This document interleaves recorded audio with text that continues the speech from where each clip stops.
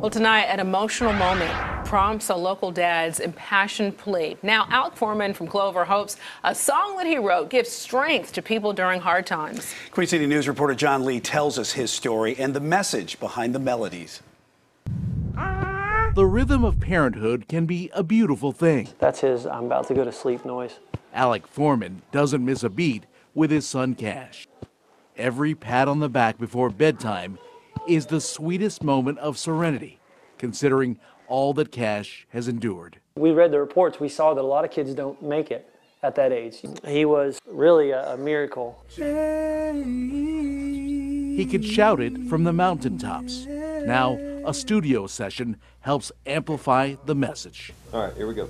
In Jesus' name, death has been defeated. At Diamond Productions in Kannapolis, Travis Motley listens for the whoa factor. You can continue that whoa. He comes in here in the studio, he's on 11, he's just ready to roll. I can feel it coming in the air tonight, oh Lord. Outtakes are sometimes part of the process, but the real genesis of a deeply personal song is not hard to grasp. Just asking God, Lord, please don't let it, don't take my son. You know, don't don't let us lose our son. There is healing here for everyone in need. When Cash was five weeks old, he was hospitalized with double pneumonia and respiratory syncytial virus, or RSV.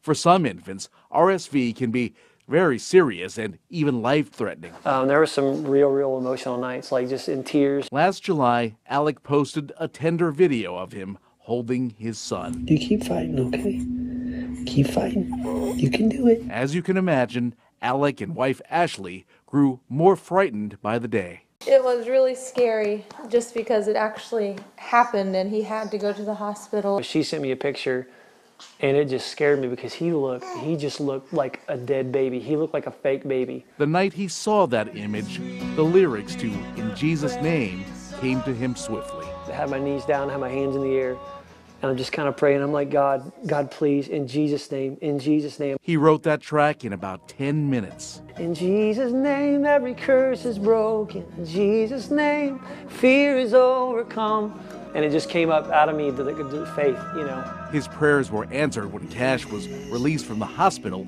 after nine days. Alec says after that medical miracle, a musical one followed. You see, he never expected to record another album because of the costs involved. But after word got around about the inspiration for In Jesus' Name, folks donated some $20,000 to make it happen. i'm going to lower this mic a little bit so i can sing down get a little more oomph on it Okay. And the emotions that spurred the song sometimes came out during production. And he was singing the song and playing, and um, the whole meaning of everything. He said, it, "I think it just hit me. You just you can't you can't make that up. You can't plan that. It's it's so beautiful." The Foremans made it through by leaning on each other and trusting in God. there we go that's my chance Their quality time has never meant more. The family, including four little boys, relishes every dance and every song. and to see that that god has everything under control that it's going to be okay